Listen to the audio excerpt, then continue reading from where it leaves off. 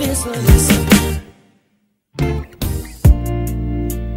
Hey, Miss Beloved, we are gathered here to join each other hand in hand. No more playing house, no. Cause I wanna make it real, do you understand?